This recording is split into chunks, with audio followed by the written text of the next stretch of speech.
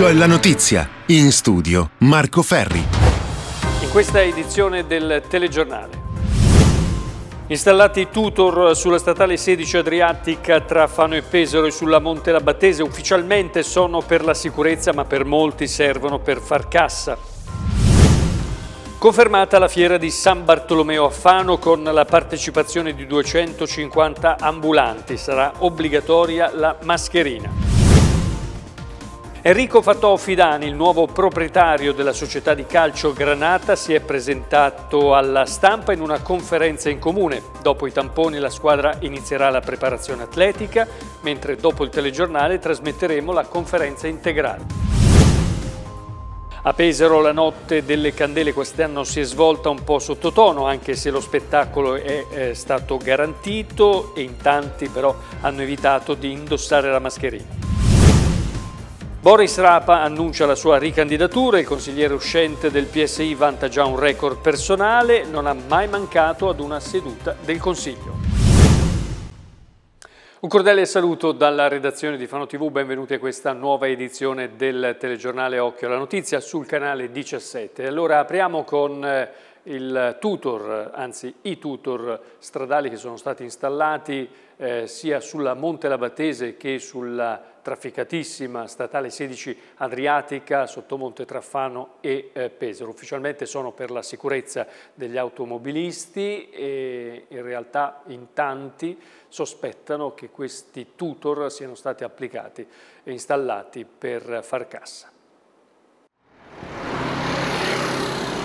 Nuovo autovelox attivo da sabato scorso sulla strada statale 16 in zona Sottomonte. A comunicarlo il comando di polizia locale dell'Unione Pian del Bruscolo al fine di incrementare la sicurezza della circolazione veicolare sulle strade interessate con maggiore indice di incidentalità. I dispositivi remoti di controllo di velocità sono stati installati nel tratto compreso tra il chilometro 240 e 244 zona sottomonte. In particolare i misuratori rilevano la velocità media nella direzione Fano-Pesaro e quella istantanea nei pressi dell'autovelox nella direzione opposta. Per quanto riguarda l'autovelox sono d'accordo, è giusto sì perché così rallentano qui, perché ogni tanto un incidente non riesci mai a attraversare la strada. Qualche autovelox aiuterà sicuramente dai, a stare un po' più attenti perché poi tra l'altro questa è una zona che è anche un po' pericolosa con eh, le macchine, molta gente esce dai parcheggi e neanche guarda.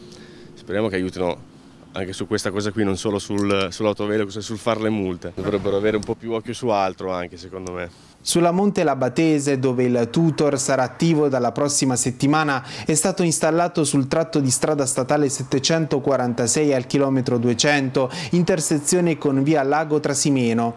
L'installazione dei tutor, frutto di una riunione del prefetto con il comandante di polizia locale ANAS, serviranno per monitorare i tratti esaminati con caratteristiche di elevato flusso veicolare che specialmente durante il periodo estivo diventa caotico e pericoloso per coloro che attraversano la statale per raggiungere gli stabilimenti balneari e attività turistiche. Beh, ci volevano perché comunque sia qui corrono come i matti, tanto una strada così eh, ci vuole, eh, è una sicurezza in più.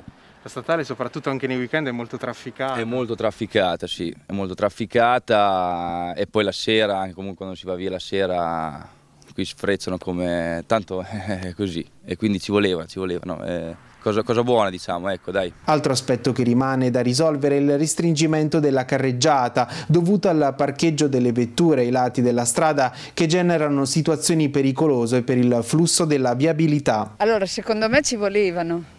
È ovvio che possiamo rimanere fregati tutti perché per esempio c'è un tratto lassù vicino al ristorante Crista, ex Crista, eh, dove bisogna andare ai 30 onestamente credo che sia uno su mille che possa andare ai 30. Però è vero che bisogna stare attenti, invece non sta attento nessuno. Ci vorrebbero forse delle sistemazioni di parcheggio diverse. È difficile dire per chi non ha le competenze tecniche e politiche, però sicuramente è un tratto di mare molto affollato e il traffico su una nazionale tanto.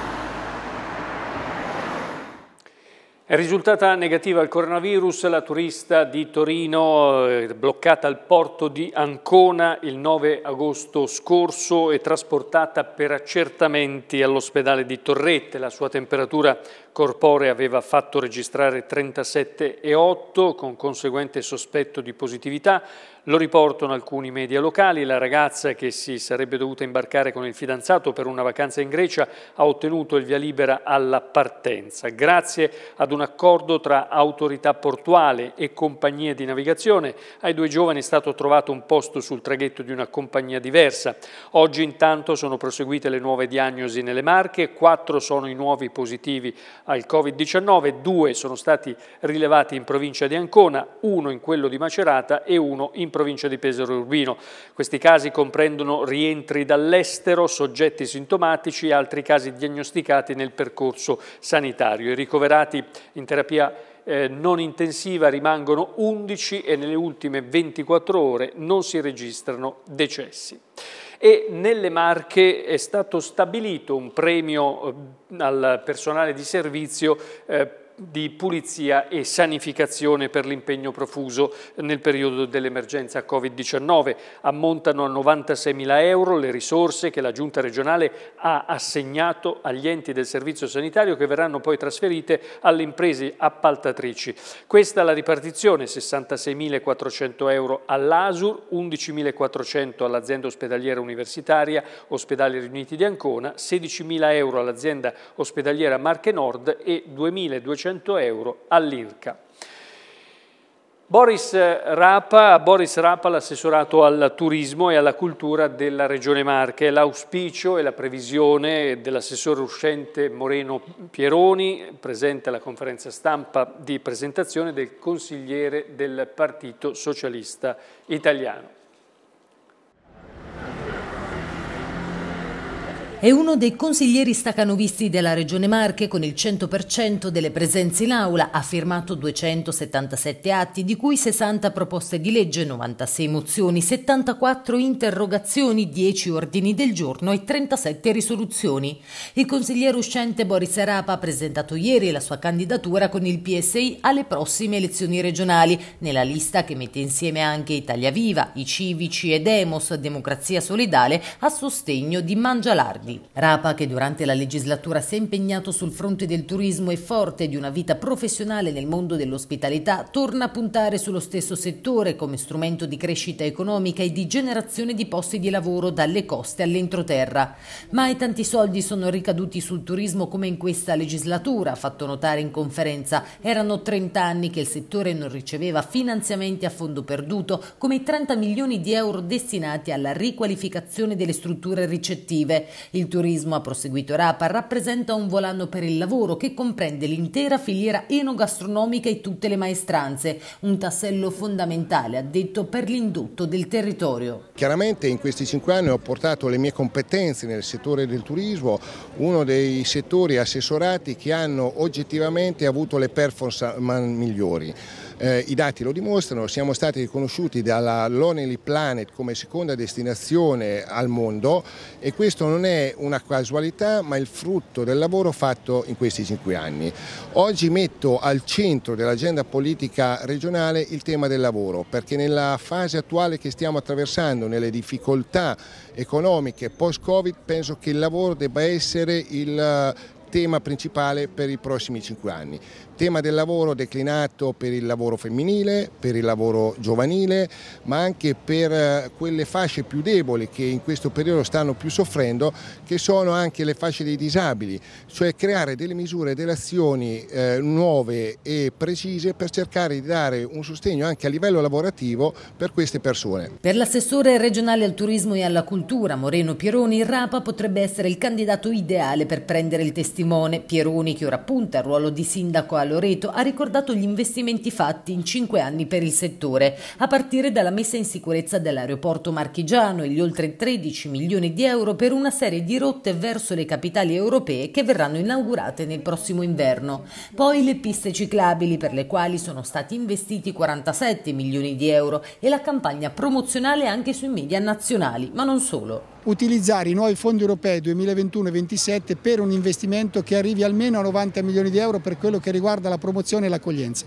Non ultimo eh, un altro impegno che ci siamo presi e che vorremmo completare tra il mese di settembre e ottobre è di far uscire il bando utilizzando i fondi per investimenti regionali per la riqualificazione delle strutture balneari che vanno da Gabicce fino a Porto d'Ascoli. Quindi questo è un messaggio forte che vogliamo dare al sistema della ricettività, è un obiettivo su cui noi tutti dobbiamo lavorare e soprattutto sono certo che questa maggioranza sta uscendo bene per quello che riguarda il, il comparto del turismo e della cultura. Naturalmente tutto è migliorabile ma sono, sono convinto che Boris sarà una figura importante per, in Consiglio regionale e credo che abbia maturato le competenze in questi cinque anni per poter essere individuato come assessore al turismo e alla cultura dei prossimi anni. Il sindaco di Fano Massimo Seri ha invece sottolineato la presenza costante e le azioni concrete messe in campo da Rapa. Grazie a lui, ha detto il primo cittadino, sono stati stanziati diversi contributi che hanno permesso agli eventi locali di avere una continuità, iniziative che altrimenti sarebbero state annullate. Anche per un territorio è importante avere punti di riferimenti eh, per affrontare le tante questioni e le sue complessità.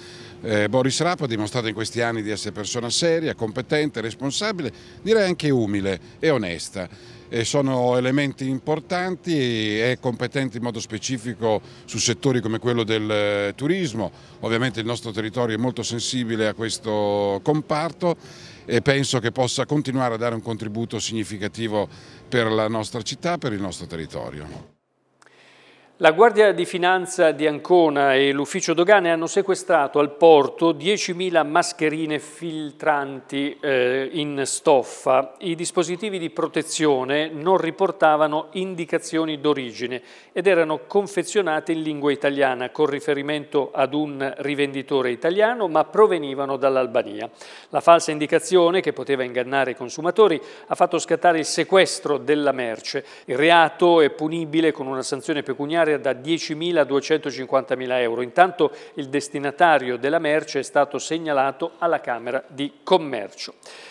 Questa mattina si è presentato alla stampa Enrico Fattò Offidani, che è il nuovo proprietario dell'Alma Juventus Fano, la squadra di calcio della eh, città. Insieme a lui c'era anche il responsabile dell'area eh, tecnica. Insieme hanno illustrato le eh, strategie della società. Intanto dopo i tamponi eh, ai giocatori Granata, la prossima settimana partirà la nuova stagione ufficialmente del Fano Calcio. Simona Zonghetti. Eh, per me è, è l'esordio assoluto conferenza stampa da presidente. C'è positività e voglia di mettersi in gioco. L'imprenditore italo-canadese Enrico Fatto Fidani, 52 anni, ha illustrato le linee guida della società dopo l'acquisto del 100% delle quote. Questa mattina in comune a Fano si è tenuta la presentazione ufficiale del nuovo proprietario dell'Alma Juventus Fano, la quale dopo nove anni di gestione dell'ormai ex presidente Gabellini è passata al nuovo patron. Presenti il responsabile dell'area tecnica Mauro Traini, il direttore generale Simone Bernardini, il sindaco di Fano Seri e l'assessore allo sport Caterina Del Bianco. La società, ha spiegato Fidani, è stata gestita in maniera impeccabile ed ora metteremo in campo un progetto triennale che possa darle la possibilità di evolversi e raggiungere mete sempre più importanti. Gli obiettivi saranno quelli di una comunicazione continua e di un grande lavoro da portare a termine con determinazione. Sarò sempre presente, ha precisato il neopatron che questa mattina ha incontrato anche i tifosi. Mi hanno solamente detto Presidente ehm, in bocca al lupo, mi raccomando lavoro, voglia di fare che qui la sosterremo tutti quanti. Io ho detto no, dobbiamo sostenere tutti quanti il Fano e quella è la cosa che conta. Come mai questo investimento in un momento così difficile per gli italiani non solo? Beh, come avevo accennato nella conferenza stampa, eh, i momenti di crisi, eh, se gestiti in maniera oculata e intelligente con persone che siano competenti nel loro settore, possono essere invece un volano per poi ripartire. Eh, ho pensato che nell'ambito della diversificazione delle attività che ho, in, in Italia in questo momento non, non ho delle attività eh, vigenti. Però affronterà detto questa avventura con il suo patrimonio, quello personale? Sì, sì, quello personale, mio personale, sì. conclusione che cosa si auspica? Ma io mi auspico che eh, le premesse, che sono tutte positive, poi possano concretizzarsi a breve nel lavoro, nel senso del, di vedere già eh, all'opera le sinergie eh, per le quali noi eh, abbiamo fatto richiesta anche, ma abbiamo visto che sia il sindaco che il vice sindaco che l'assessore allo sport si sono messi veramente a disposizione. Per quanto riguarda lo staff che ho incontrato e che abbiamo eh, confermato in toto, ci siamo trovati in sintonia subito, persone squisite, c'è maniera di lavorare bene e speriamo questo, il mio auspicio è questo, di mm, lavorare correttamente, positivamente. La squadra non verrà smantellata, ha precisato invece Traini, la prima finalità è il mantenimento miglioramento della categoria? Beh, sicuramente cercheremo di migliorare, è facile dire migliorare quello che è successo negli ultimi due anni perché c'era stata una retrocessione, una salvezza molto importante, però devo dire che quest'anno la squadra ha dimostrato e prima del Covid e alla ripresa con lo spareggio di avere delle individualità importanti, quindi noi abbiamo fatto di tutto per mantenere eh, i ragazzi che si sono adoperati tantissimo e che sono buoni giocatori, come diceva il mister. Miglioreremo questa squadra per far bene e per sicuramente buttare le basi per quello che poi sarà il futuro anche del Fano, quindi cominceremo a lavorare eh, innestando dentro giocatori validi pian pianino e non certamente tutti in un colpo perché poi la programmazione è la cosa più importante. Continuerete a collaborare anche con il settore giovanile? No, beh, il settore giovanile siccome è un po' diviso nel senso che l'Accademia è una proprietà anche se poi è affidata a noi e il settore giovanile di una società professionistica come Fano deve tirar fuori eh, non dico ogni anno, almeno ma dal secondo anno in poi deve tirar fuori dei ragazzi giovani, soprattutto del posto e anche di fuori, che possono approdare in prima squadra o essere ceduti per fare plusvalenze. Verranno eseguiti dei tamponi e poi quando si partirà ufficialmente? Beh guarda, eh, i tamponi sicuramente saranno fatti fra qualche giorno, c'è tutto lo staff sanitario e medico che sta lavorando. Mm, il mister vorrebbe partire il 17 appunto con i tamponi per poi recarci al ritiro, io penso che tra il 17 e il 18 si partirà per questa nuova stagione e il Comune di Fano ha detto sì alla fiera di San Bartolomeo, eh, uno degli appuntamenti più antichi della città. Eh, in tutto ci saranno 250 eh, ambulanti, ovviamente tante saranno le indicazioni per il mantenimento delle distanze e quant'altro, ma sarà obbligatorio per chi andrà alla fiera di San Bartolomeo l'uso della mascherina. La storica fiera di San Bartolomeo a Fano quest'anno si farà. In programma il 24, 25 e 26 agosto tutta la zona Sassonia, comprese via Dante Alighieri e viale Adriatico, potranno contare sugli oltre 250 espositori che proporranno al pubblico tutta una serie di merci di qualsiasi genere, dall'abbigliamento ai giocattoli alle novità per la casa e all'oggetto più richiesto del momento.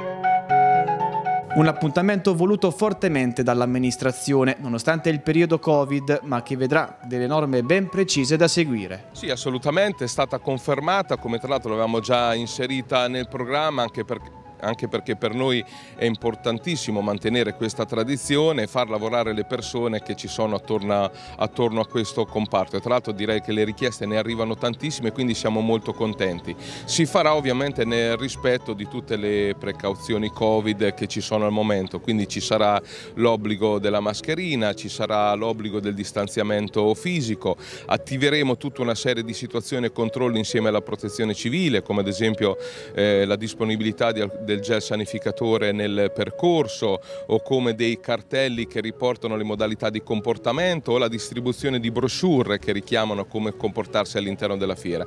Quindi un'attenzione particolare per il periodo che stiamo vivendo, ma riteniamo opportuno che insomma, la fiera debba andare avanti come tutte le tradizioni che siamo riusciti in, in qualche modo a mandare avanti. Ecco.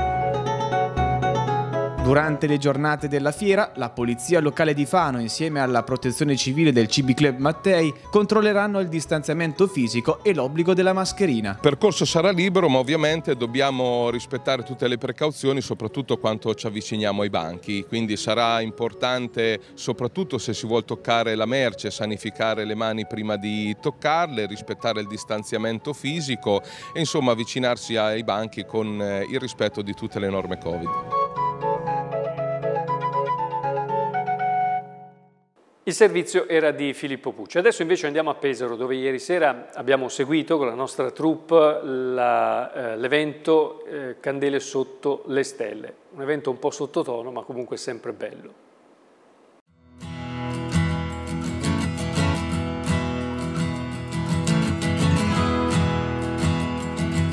Oltre 15 quintali di fiammelle hanno invaso il litorale da Fosso Seiore a Gabicce Mare, passando per le spiagge libere di Sottomonte, Fiorenzuola e Vallugola, ampliato con ben 9 km in più di costa rispetto alle precedenti edizioni e 1200 candele posizionate in acqua, creando un'atmosfera suggestiva con spettacoli di luce.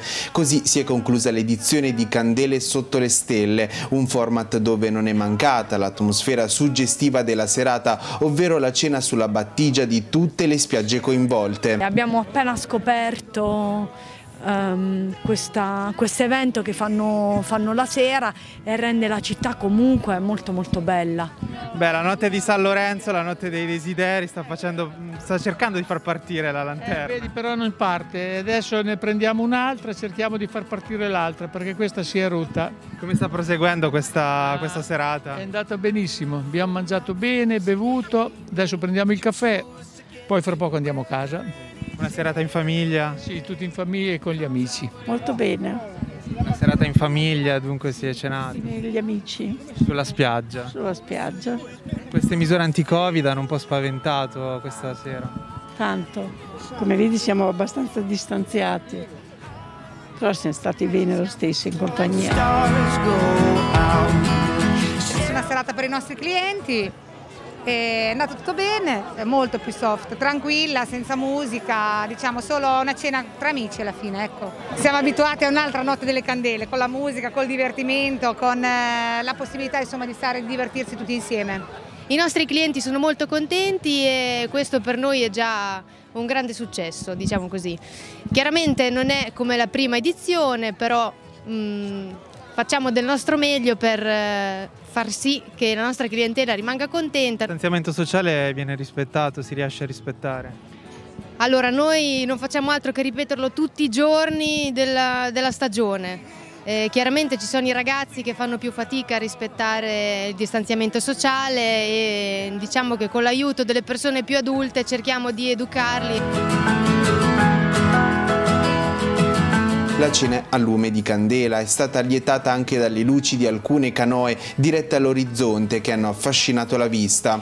Quest'anno non sono stati previsti spettacoli itineranti, un evento scandito da un'ordinanza comunale che prevedeva l'obbligo di mascherine nelle aree di pertinenza dei pubblici esercizi, stabilimenti balneari e aree urbane, evitando assembramenti e veto dei balli di gruppo, dove però le prescrizioni sono diventate solo un ricordo. In diversi stabilimenti movimenti, alcuni componenti del popolo in bianco non è riuscito a resistere al richiamo della notte e si sono lasciati in bali di gruppo in barba al divieto. Non è mancato chi è stato ligio alle regole anti-covid, alcuni si sono ritrovati a tavola con la propria gruppa in riva al mare solo con la famiglia. Noi siamo appena arrivati quindi dovreste parlare con loro che sono... hanno organizzato tutto. Un bel evento, insomma, positivo. Bellissimo. Positivo, positivo. Si sta benissimo, si sta da Dio. Cosa avete organizzato per questa serata? Il menù? Una, una cena, noi siamo i ritardatari, quindi siamo... Tutto e di più. Tutto e di più. Tutto e di più.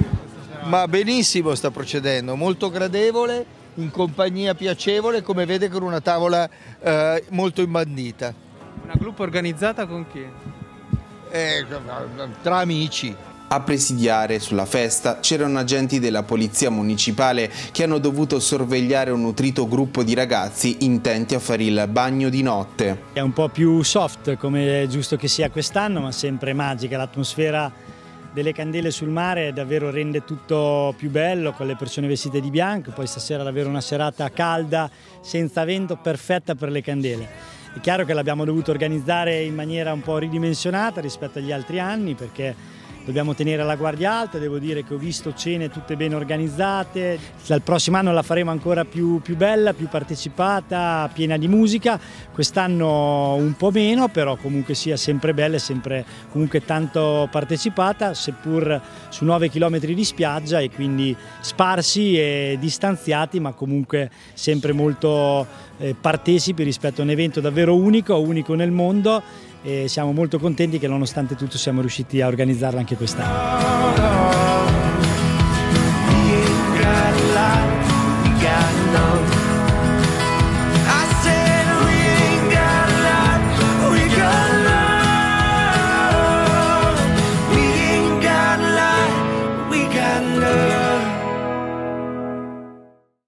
E questo era il nostro ultimo servizio in scaletta. Vi ricordo che dopo il telegiornale andrà in onda uno speciale politico, la candidatura di Federico Talè di Italia Viva, eh, che ha come ospite il leader Matteo Renzi e poi la conferenza stampa, quindi l'integrale eh, del nuovo presidente dell'Alma Juventus Fano, eh, Enrico Fattò Offidane. È tutto, grazie per averci seguito, arrivederci a domani.